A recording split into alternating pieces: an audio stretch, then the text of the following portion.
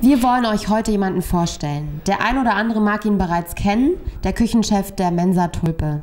Und der hat immer einen flotten Spruch parat. Und deshalb haben wir von UniTV ihn gefragt, ob er Teil unseres Teams werden möchte. Hier der Mensamann zum Thema Steuersenkungen.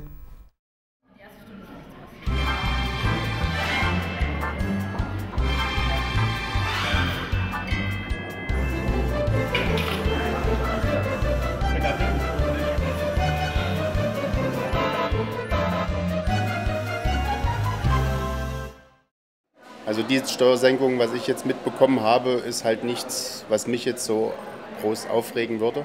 Wo ich jetzt sagen würde, das ist das ganz tolle Geschenk. Es sind halt Minimalwerte, die uns da irgendwo zugute kommen.